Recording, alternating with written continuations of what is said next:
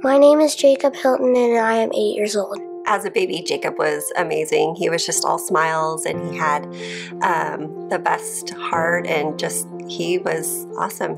He was a sweet little guy. He had a lot of his own little character things that he would do. For instance, he would squeeze your thumb. His big thing was he would want to grab your thumb and go like this.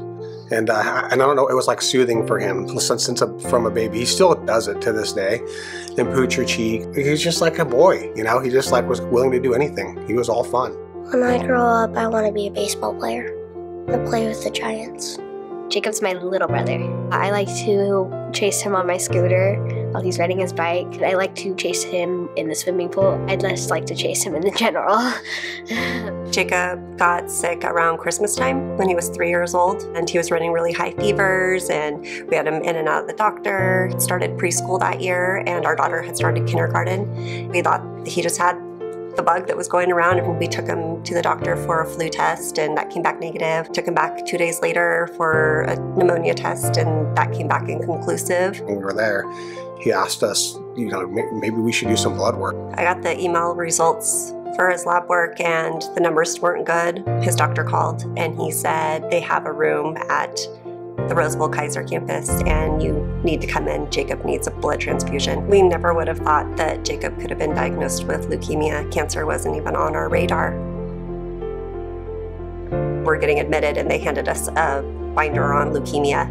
I couldn't even do it. We're looking stuff up, wondering why, what happens when you're sick, why would you need a blood transfusion, what can any of those things be? There was no way that that could have possibly been the case with Jacob. Dr. Sonali, she was amazing. She pretty much told us that he had acute lymphoblastic leukemia B cell, the best kind, we were told. When you're told your child has cancer, you don't even understand what the best kind is. Three days ago, there was a 100% chance that my son was going to grow up to be an old man, you know? Then it was just like the thought that you could lose your child. I mean, there's nothing worse than that. We were devastated. During Jacob's treatment, it was kind of like a whirlwind. We were getting lots of blood draws, lots of spinal taps. He had a thousand, at least a thousand When I was sick, I never wanted to do anything. I didn't want to play any sport. I didn't want to play outside. My sister was so helpful. She helped me. She was always up to play. She always made me laugh, and we always had fun.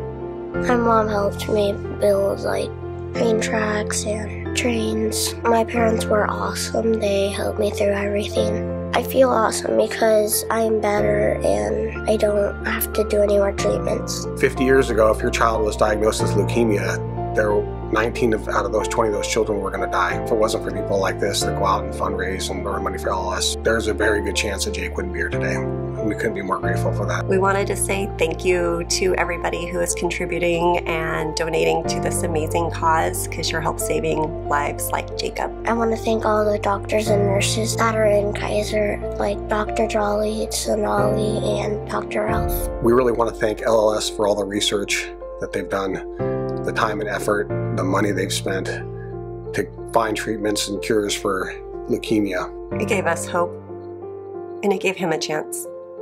I want to thank all the people who are in LLS raising money to save lives like mine. Thank you, LLS. Yes, thank you, LLS, for saving my brother.